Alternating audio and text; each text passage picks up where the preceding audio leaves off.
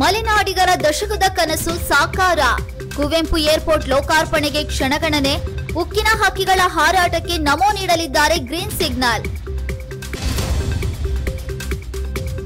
ವಿಮಾನ ನಿಲ್ದಾಣದಲ್ಲಿ ತಯಾರಾಗುತ್ತಿವೆ ತರೇಹವಾರಿ ಖಾದ್ಯಗಳು. ಎರಡು ಲಕ್ಷ ಜನರಿಗೆ ಊಟ ಮತ್ತು ತಿಂಡಿಯ ವ್ಯವಸ್ಥೆ. ಇನ್ನೂರು ಕೌಂಟರ್ ಓಪನ್. ಸಾರ್ವಜನಿಕರಿಗೆ ಮುಕ್ತ ಪ್ರವೇಶ.